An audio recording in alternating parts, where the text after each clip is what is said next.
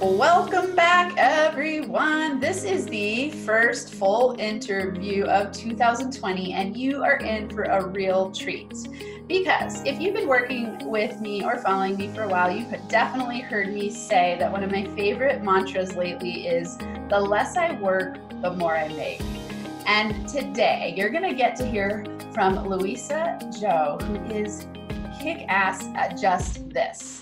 She works and helps people to scale their businesses faster with the right system so they can run multi million dollar businesses with no full time employees. That's a big deal. I'm sure that a lot of you listening want this.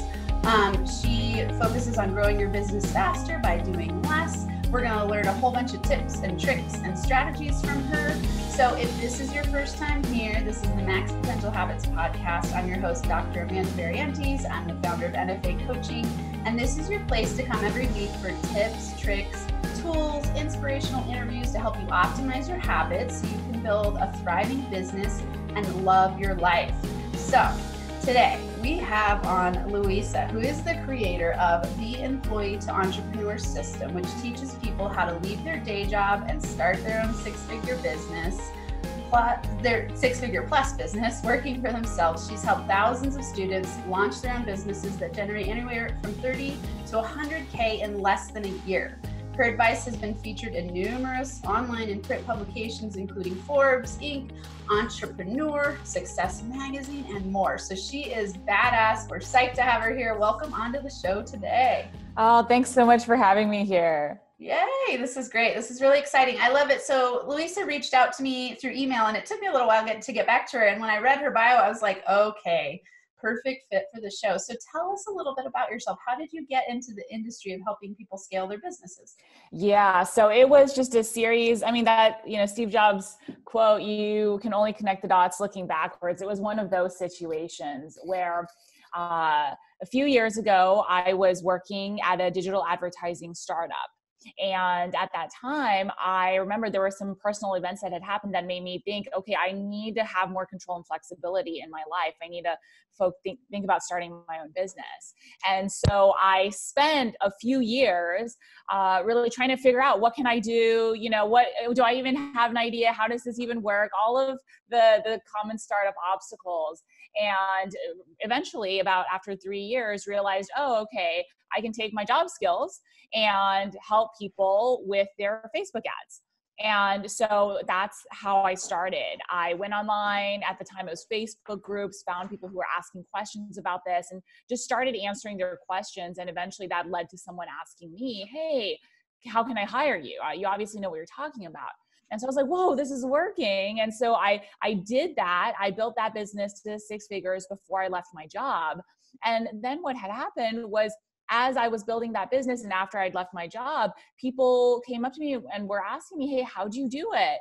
How'd you make a certain amount of money before you left? How did you replace your income? How'd you do your job and your business? And I remember thinking, hey, it took me about three years of a lot of failures and not even knowing what I didn't know to figure it out. So I think there's a huge gap here that I can fill to help people with that.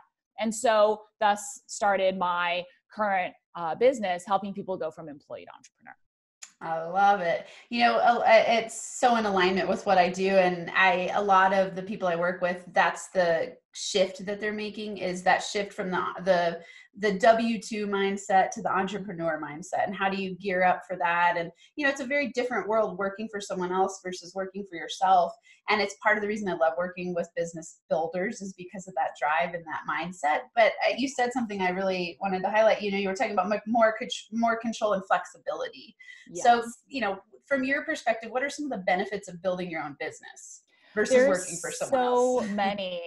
I, okay, so the you know top things, the most obvious things, right, which are just super important, having control over your own life. I just remember, you know, when I was doing the corporate thing that I would have to ask for. It felt like every little thing right? Uh, can yeah. I take time off if you i mean some managers were better but there were certain jobs i had where they had they were watching you by the clock like you had to be in by a certain time couldn't leave before a certain time things like that and so it just felt like too, way too much you know let me be an adult and get, just get the job done, which I did. Um, so there's that. There's the flexibility. So at this point in my business, I work a lot fewer hours than I did a few years ago. And that is something that I knew from day one that I wanted to be able to build, to be able to take time off, spend time with my family, uh, do just other things aside from working in whatever I was doing.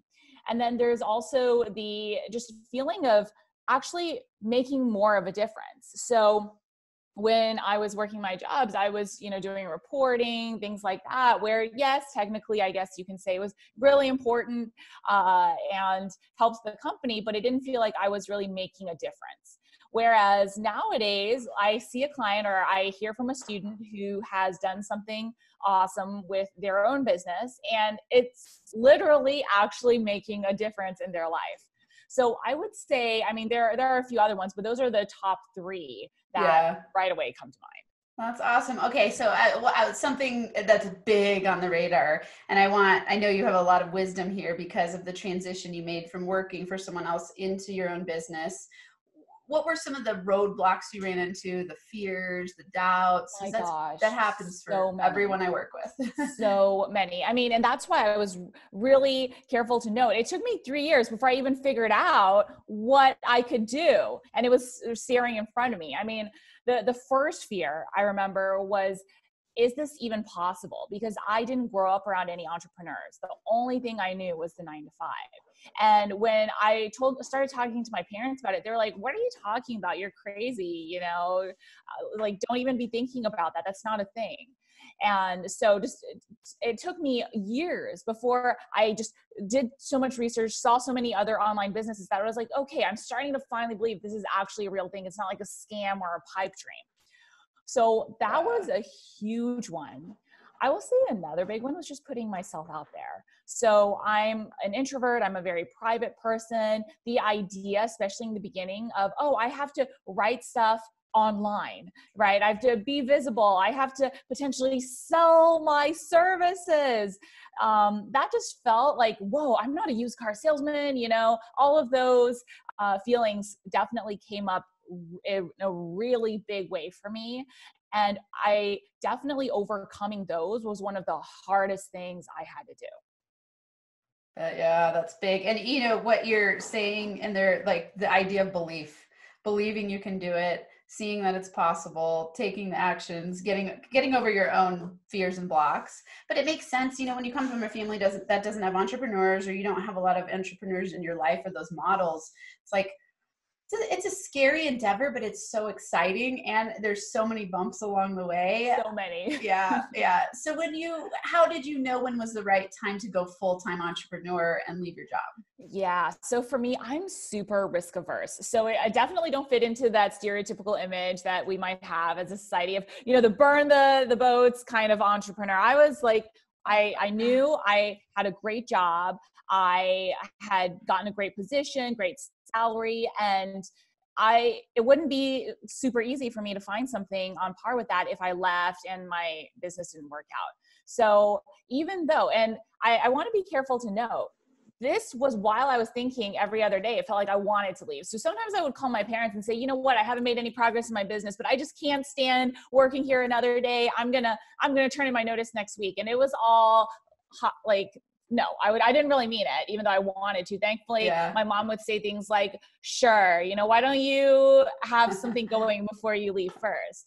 And so what eventually happened was i didn't plan for it. I had set in my mind look if i make consistent uh, income three months in a row if i make like $10000 then okay maybe i'll leave. I hadn't set a certain set thing because i didn't know how it would turn out at yeah. that time to be honest i was still thinking is this really going to be possible to replace my my income full time and so what happened was then as i started really like the everything came together the, those three years of testing learning working on my belief and within about four months i made over six figures in sales and so after that, it's kind of like, well, I don't have any space uh, on my schedule to take on any more clients, and I can't really do both. So, all right, I have some good cash in the bank.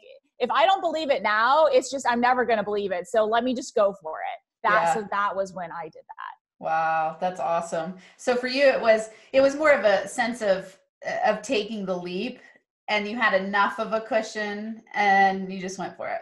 Exactly. Yeah. And I mean, but but you put in. It sounds like yeah. you put in quite a bit of work up front, I and, and you made sure that you were stable. And exactly like i Yeah. put i basically did every single thing i could to Yeah. make sure so i mean i had the business set up i had uh, like maybe three four months of clients lined up i had a program ready to go after to launch after I, I left and i mean personally i also took care as much of my financial stuff as possible like i paid as much of my rent like did like Yeah. you know did all my healthcare stuff um Yeah. so everything possible Yeah, you. That's one of the benefits of being risk averse. it, but you know, it's interesting because I see people do it both ways. You know, where some people just go, "I'm all in. I cannot take it anymore. I've got to take the leap." It causes different types of stress than it does to to do two jobs at the same time. You know, so Yes. building your business in, uh, parallel to having your you know nine to five Yeah. can be a different type of stress but then leaving without the cushion is a different you know so it's all it's all there i think the common thread is that everyone is looking for freedom and doing what they love yes. and and having the possibility of making an unlimited amount of income absolutely. it's just such a different reality you know so i left i it's weird i've almost worked for myself my whole life i you know i've almost it's when i was a kid i worked at dairy queen. So i was you know i was a w2 employee then and i worked at corn i was the manager at corning beer and i had all these interesting jobs. And then i worked for my dad a lot which felt kind of like entrepreneurship because he has is a serial entrepreneur and always taught me you know bookkeeping and business Oh, mindset that's and that kind of thing Yeah. and then I went to grad school, and that was almost I would I finished my two years of undergrad and then went straight into a PhD program. So it was like nine years in a row I was in oh school. oh my gosh. And it's strange because you get a W two there. It's very very very low pay, Oh. but it feels like you're an entrepreneur because you structure all your time. No one really oversees what you do besides you know coursework. You have certain requirements, but it was I've I've I feel like I had the benefit in a lot of ways of for years having to structure my own time and be self-regulated and produce without you know it's like it was up to me to make it happen. I str- i did all my lectures and those kind of things. So i had that and when i left academia i was like okay i'm all in. I similarly i had saved up even with a really low income i was really good at saving.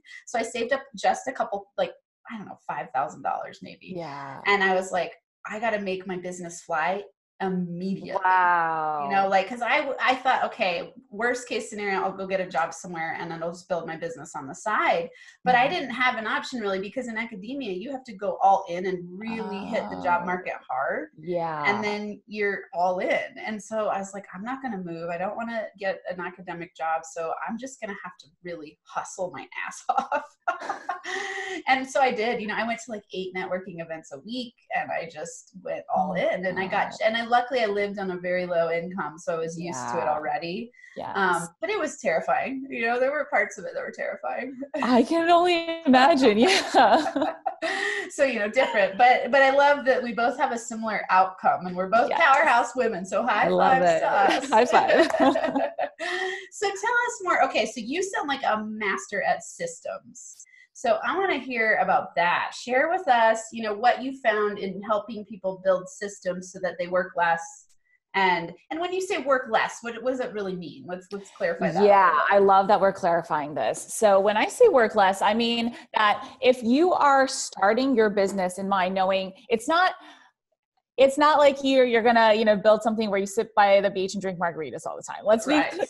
About Yes. that, right? But you're like, "Come on, I want to do something meaningful. I want to make a great income, and I want to not be working maybe 24 seven or 40 hours a week, even whatever that is. If you start with that end goal in mind, then what you need to do is figure out, all right, well, what like I'm an engineer by training, so I'm always like, okay, let's talk about the numbers and things. So, what's what product are you going to look like? Is it one product or what product suite is going to bring you to that? Then if you back into how many do you need to sell to make that income every month, quarter, year, whatever that looks like. And then you back into the okay, so now that I have the baseline products in place of my business model and how I'm going to make the income I want to make, working the hours I want to work, delivering it, whether through a course or one-on-one or some something in between, then it goes to all right. how am I going to get people who find me to learn about my program and buy if they're interested. So that that's a conversion system. Yeah. And when I say that, I'm talking about things like maybe a webinar or an email funnel or something like that. Then once you have that in place, you add in the traffic to to drive people to that funnel that you've built. And so that could be through, uh, I mean, so many different channels social media, YouTube, your own blog, paid traffic, um, Facebook ads, for example, right? So identifying which of those traffic sources might be the best for you given your industry, given where you are, given the time, the resources you have to commit to whichever traffic source. And I usually recommend starting with one that you can really master. For me personally, I started with Facebook ads because that's what I knew as well. Um, but with each traffic source, there are things you have to know. Like for Facebook ads, it's all right, what how much can I afford to uh, spend on a lead at this cost? What based on you know my conversion rates, how much am I going to get in return? And so, different things for different traffic sources, identifying one, really nailing that. I mean, it took me months and months of testing before I really nailed down all right, this targeting, this ad copy, this type of front end offer for my Facebook ads funnel will be profitable and then scaling that to hit the income goal that you want. And so in terms of the other systems that really make this possible it's the back end delivery and customer support. And so like again emphasizing in the beginning in the first i would say two years of my business i worked so much. I worked like ridiculous it felt like i was working all the time you know? And yeah. um, that's because i was really setting up the systems i was setting up these funnels and I was creating procedures and processes for other people, my contractors to follow to handle, for example, customer support questions, or for my ads manager to know, okay, these are the things we need to focus on, so on and so forth. So that eventually what you have is, well, it's this is my system for lead generation or multiple systems. This is my system for conversion. This is how we deliver it. And then once you have that and you've got the processes documented, it's a lot easier to outsource. And I mean, it's less work for your contractors as well because it's really straightforward. There's no, you know, emergency situations where you have to put out unforeseen fires. And that what that allows you to do is to outsource accordingly, decide what you're going to do and how much time you're going to spend, and then let the systems work. Thanks so much for listening to this episode of the Max Potential Habits podcast. If you're liking what you've heard, it would be so incredibly awesome if you would subscribe to the channel and leave a five star rating and a written review. This helps me help more people while we grow our NFA community so we can rock it out together. For Max Potential Habits resources, go to nfacoaching.com where you can access all of my resources. There's free ebooks, PDF checklists, a journal template, a business mindset meditation kit, and so much more. Plus, links to NFA coaching on Instagram, YouTube, LinkedIn, and Facebook. And if you're super serious about upleveling, there's also a link to schedule a free consult to work with me in group or one on one coaching. Until next time, I hope you have a Max Potential Habits Day where you get inspired to do whatever it takes to transform into the most empowered version of yourself so you can lead a rich, thriving, kick ass life and business.